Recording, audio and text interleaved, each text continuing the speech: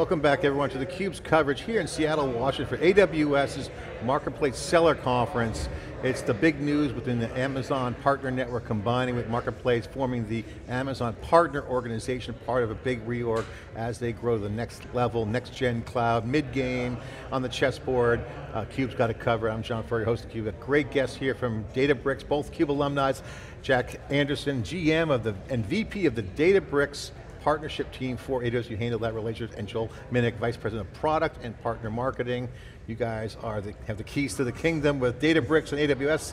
Thanks for joining, thanks for, good to see you again. Thanks for having us yeah, back. John, great to be here. So I feel like we're at reInvent 2013, small event, no stage, but there's a real shift happening with procurement, um, obviously it makes, it's a no-brainer on the macro, you know, people should be buying online, self-service, cloud scale, but Amazon's got billions being sold through their marketplace, they've reorganized their partner network, you can see kind of what's going on, they've kind of figured it out, like let's put everything together and simplify and make it less of a website marketplace, merge our partner organizations, have more synergy and frictionless experiences so everyone can make more money and customers can be happier. Yeah, that's right. Uh, I mean, you're running yeah. a relationship, you're in the middle of it.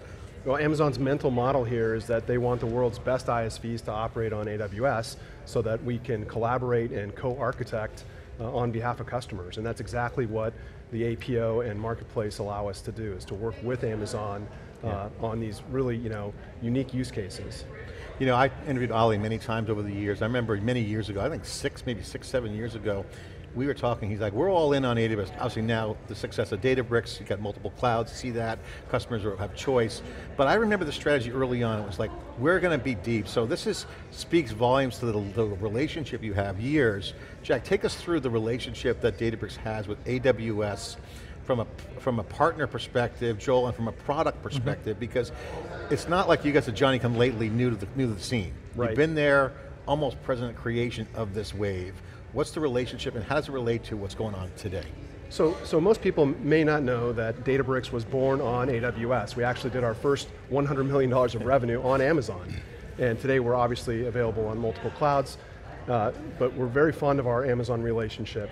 And when you look at uh, uh, what the APN allows us to do, you know, we're able to expand our reach and co-sell with Amazon, and Marketplace broadens our reach. And so we think of marketplace in three different aspects. We've got the marketplace private offer business, which we've been doing for a number of years.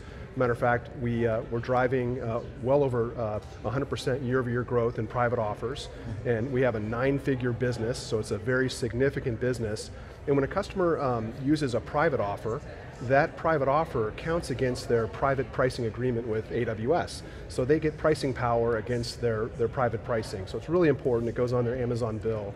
Uh, in May, we launched our pay-as-you-go on-demand offering, and uh, in five short months, we have well over a thousand subscribers. And what this does is it really uh, reduces the barriers to entry. It's low friction, so anybody in an enterprise or startup or public sector company can start to use Databricks on AWS and pay in a consumption-based model and have it go against their monthly bill. And so we see customers you know, doing rapid experimentation, pilots, POCs, uh, they're, they're really learning the value of that first use case, and then we see rapid use case expansion.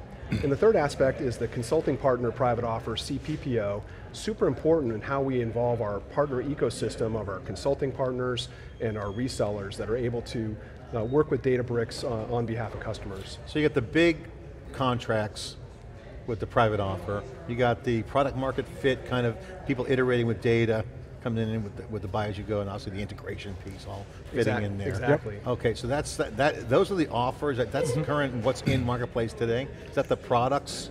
What are, yeah. what are people buying? I mean, yeah. I guess what's the Joel, what are, what are people buying in the marketplace? And what does it mean for them? So fundamentally, what they're buying is the ability to take silos out of their organization. And that's, that is the problem that Databricks is out there to solve, which is when you look across your data landscape today, you've got unstructured data, you've got structured data, you've got real-time streaming data, and your teams are trying to use all of this data to solve really complicated problems. And as Databricks, as the Lakehouse company, what we're helping customers do is how do they get into the new world? How do they move to a place where they can use all of that data across all of their teams? Mm -hmm. And so we allow them to begin to find through the marketplace those rapid adoption use cases where they can get rid of these data warehousing, data lake silos they've had in the past, get their unstructured and structured data onto one data platform, an open data platform that is no longer adherent to any proprietary formats and standards, uh, something they can very much, very easily integrate into the rest of their data environment. Apply one common data governance layer on top of that, so that from the time they ingest that data, to the time they use that data, to the time they share that data, inside and outside of their organization, they know exactly how it's flowing. They know where it came from, they know who's using it, they know who has access to it, they know how it's changing. And then with that common data platform, with that common governance solution, they'd being able to bring all of those use cases together across their real-time streaming, their data engineering, their BI, their AI, all of their teams working on one set of data. Uh, and that lets them move really, really fast. And it also lets them solve challenges they just couldn't solve before. Uh, a good example of this, you know, one of the world's now largest data streaming platforms runs on Databricks with AWS. And if you think about what does it take to set that up? Well, they've got all this customer data that was historically inside of data warehouses, that they have to understand who their customers are. They have all this unstructured data they've built their data science models so they can do the right kinds of recommendation engines and forecasting around. And then they've got all this streaming data going back and forth between clickstream data from what the customers are doing with their platform and the recommendations they want to push back out. And if those teams were all working in individual silos, building these kinds of platforms would be extraordinarily slow and complex. But by building it on Databricks, they were able to release it in record time um, and have grown at, at record pace to I now mean, be that's the product, that's impacting product development. Absolutely. I mean, this is like the Yeah. difference between lagging months of product development to like days. Pretty Yes. much what you're getting at. Yes. So total agility. I got that. Okay, now I'm a customer. I want to buy in the marketplace, but I also you got direct sales force out there. So how do you guys look at this? Is there channel conflict? Are there comp programs? Because one of the things I heard today in, on stage from AWS leadership, uh, Chris was up there speaking, and and and Mona was, hey. He's a CRO conference, Chief Revenue Officer mm-hmm. conversation, which means someone's getting compensated. So if I'm the sales rep at Databricks, What's my motion to the customer? Do I get paid? Does Amazon sell it? Take us through that. Is there channel conflict? Is there, or how do you handle it? Well, I'd, I'd add what Joel just talked about with, with you know what the solution, the value of the solution. Our entire offering is available on AWS Marketplace, so it's not a subset; it's the entire Databricks offering, and um, The flagship, all the, the top Everything. stuff. the flagship, the complete offering. So it's not it's not segmented, it's not a subsegment. It's it's uh, you know you can use all of our different offerings. Now, when it comes to uh, seller compensation, we, we we view this two two different ways, right? One is that AWS is also incented right, versus selling a native service to recommend Databricks for the right situation. Same thing with Databricks. Our sales force wants to do the right thing for the customer if the customer wants to use Marketplace as their procurement vehicle. And that really helps customers because if you get Databricks and five other ISVs together, and let's say each ISV is spending, you're spending a million dollars, you have five million dollars of spend, you put that spend through the flywheel with AWS Marketplace, and then you can use that in your negotiations with AWS to get better pricing overall. So uh, that's how we, we So view it. customers are driving this, Correct, sounds like. for sure. So they're looking at this as saying, hey, I'm going to just get purchasing power with all my relationships because it's a solution Yeah. architectural market, right? Yeah, it makes mm-hmm. sense because if most customers will have a primary and secondary cloud provider, if they can consolidate, you know, multiple ISV spend through that same primary provider, you get pricing power. Okay, Joe, we're going to date ourselves, at least I will. So back in the old days, it used to be do a Barney deal with someone, hey, let's go to market together, you got to get paper, you do a biz dev mm-hmm. deal, and then you got to say, okay, now let's coordinate our sales teams. A lot of moving parts. So what you're getting at here is that the alternative for Databricks or any company is to go find those partners and do deals versus now Amazon is the center point for the customer. So that you can still do those joint deals, but this seems to be flipping the script a little bit.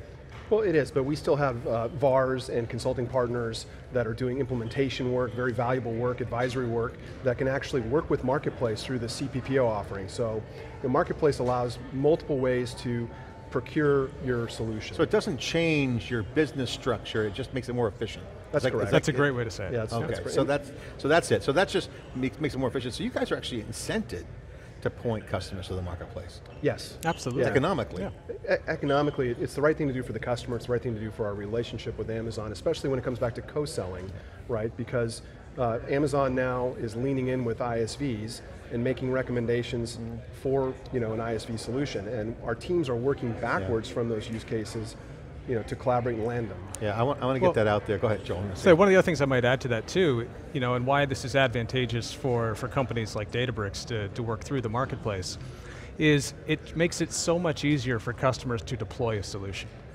It's, it's very literally one click through the marketplace to get Databricks stood up inside of your environment. Um, and so if you're looking at how do I help customers most rapidly adopt these solutions in the AWS cloud, the marketplace is a fantastic accelerator to that.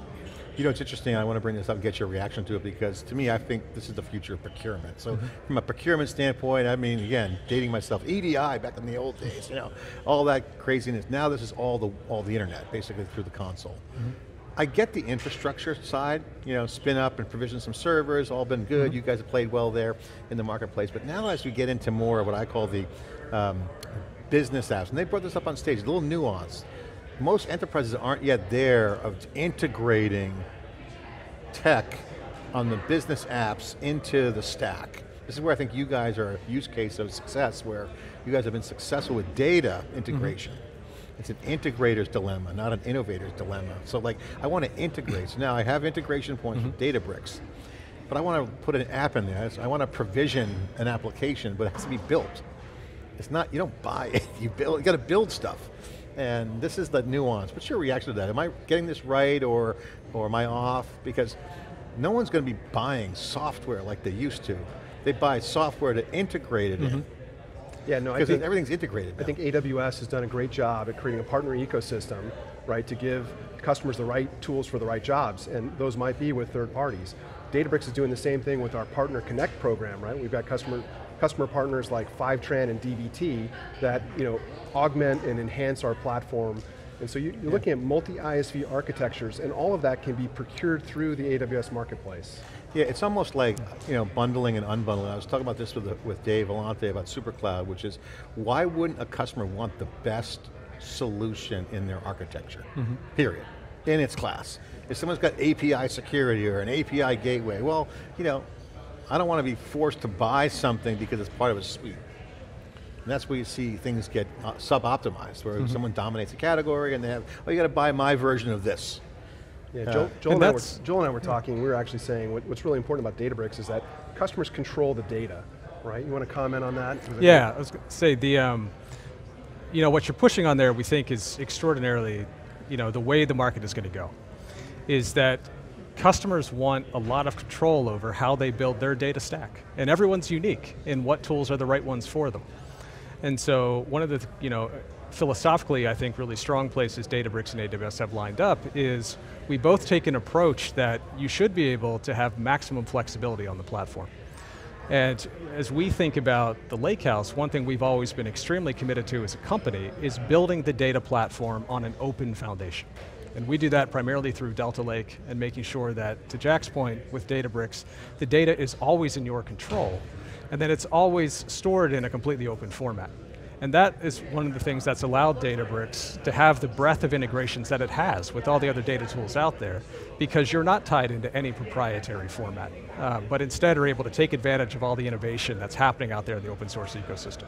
When you see uh, other solutions out there that aren't as open as you guys, you guys are very open, by the way, we love that too, we think that's a great strategy, but what's the, what am I foreclosing if I go with something else? That's not as open? What's the customer's downside as you think about what's around the corner in the industry? Because if you believe it's going to be open, open source, mm -hmm. which mm-hmm. I think open source software is the software industry, and integration is a big deal, because software is going to be plentiful. Right? Sure. Let's face it, it's a good time to be in the software business.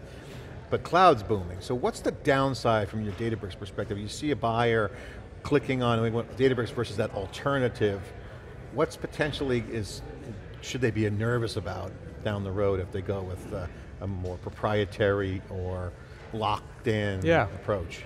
Well, I think the challenge with proprietary ecosystems is you become beholden to the ability of that provider to both build relationships um, and convince other vendors that they should invest in that format. Uh, but you're also then beholden to the pace at which that provider is able to innovate. Mm -hmm. um, and I think we've seen lots of times over history where you know, a proprietary format may run ahead for a while on a lot of innovation, but as that market control begins to solidify, that desire to innovate begins to, to degrade. Yeah. Uh, whereas in the open format, so extract rents versus innovation. Exactly, yeah, exactly. But I'll in, say it. in the open world, you know, you have to continue to innovate. Yeah. And the open source world is always innovating. If you look at the last 10 to 15 years, I challenge you to find you know, an example where the innovation in the data and AI world is not coming from open source. Um, and so by investing in open ecosystems, that means you are always going to yeah. be at the forefront of what is the latest. You know, again, not to date myself again, but you look back at the 80s and 90s, the, mm -hmm. the protocol stacks were proprietary. Yeah. You know, SNA at IBM, DECnet was digital, you know, the rest, is, and then TCP IP was part of the open systems interconnect. Mm -hmm. Revolutionary, obviously Cal had a big part of that, as well as my school did. Uh, and so like, you know, that was, but it didn't standardize the whole stack, it stopped at IP mm -hmm. and, and TCP. Yeah. But that helped interoperate. That created a nice de facto. So this is a big part of this mid game, I call it the chessboard. You know, you got opening game and mid game, mm -hmm. then you get the end game. You're not there at the end game yet in cloud. There's, cloud there's, al there's, always some form of lock-in, right? Andy Jassy will, will, address it, you know, when making a decision. But if you're going to make a decision, you want to reduce as uh, you don't want to be limited, right? So I would advise a customer that there could be limitations with the proprietary architecture and if you look at what every customer is trying to become right now is an AI-driven business, right? And so it has to do with, can you get that data out of silos? Can you, can you organize it and secure it? And then can you work with data scientists to feed those models yeah. uh, in, a, in a very consistent manner? And so the tools of tomorrow, will, to Joel's point, will be open, and we want interoperability with those and, tools. And, and, and, choice is a matter too, and I, I would say that you know the argument for why I think Amazon is not as locked in as maybe some other clouds is that they have to compete directly too. Redshift competes directly with a lot of other stuff, but they can't play the bundling game because the customers are getting savvy to the fact that if you try to bundle an inferior product with something else, it may not work great at all, and they're going to be, they're onto it. This well, is the, this to, is the, Amazon's credit, by having these, these uh, solutions that may compete with native services in marketplace, they are providing customers with choice, yeah. low price, and access to the and access to the core value, yeah, which exactly. is the hardware, which is their platform. Okay, so I want to get you guys thought on something else I, I see emerging. This is again kind of cube uh, rumination moment. So on stage, Chris unpacked a lot of stuff. I mean, this marketplace, they're touching a lot of hot buttons here. You know, pricing, compensation, workflows, um, services behind the curtain. Mm -hmm. And one of the things he mentioned was they talk about resellers or channel partners. Depending on what you talk about, we believe, Dave and I believe on theCUBE that the entire indirect sales channel of the industry is going to be disrupted radically. Because those players were selling hardware in the old yeah. days and software that game is going to change. You, know, you mentioned you guys have a program. I want to get your thoughts on this. We believe that once this gets set up, they can play in this game and bring their services in, which means that the old reseller channels are going to be rewritten. They're going to be refactored um, with this new kinds of access, because you got scale, you got money, and you got product. And you got customers coming into the marketplace. So if you're like a reseller that sold computers to data centers or software, and you're an, uh, you know, a, a value-added reseller or VAB or business, You've got to evolve. Right? You, got to you got to be evolve. here. Yes. Yeah. How are you guys working with those partners? Because you say you have a product in your marketplace there. How do I make money if I'm a reseller with Databricks with Amazon? Take me through that use case. Well, I'll let Joel comment, but I think it's it's it's pretty straightforward, right? Customers need expertise. They need know-how. Uh, when we're seeing customers do mass migrations to the cloud, or Hadoop-specific migrations, or data transformation implementations, they need expertise from consulting and SI partners. If those consulting and SI partners happen to resell the solution as well, well that's another aspect of their business, but you know, I, I, really think it is the expertise that, that partners bring uh, to help customers get outcomes. Joel, channel, yeah. big opportunity for re, re Amazon to reimagine this. For sure, yeah, and I think, you know, to your comment about how do resellers take advantage of that, I think what Jack was pushing on is spot on, which is, it's becoming more, about, more and more about the expertise you bring to the table. Um, and not just transacting the software, but now actually helping customers make the right choices. Mm -hmm. Um, and we're seeing uh, you know, both SIs begin to be able to resell solutions and finding a lot of opportunity in that. Yeah. And I think we're seeing traditional resellers begin to move into that SI model as well. And that's going to be the evolution that this goes. At the end of the day, it's about services, right? For sure. I mean, Yeah, if for sure. you got a great Yeah. service, you're going to have high gross profits. And I think 'Cause, that the, you know, the managed service provider business is alive Yeah. and well, right? Because there are a number of customers that want that, that type of a service.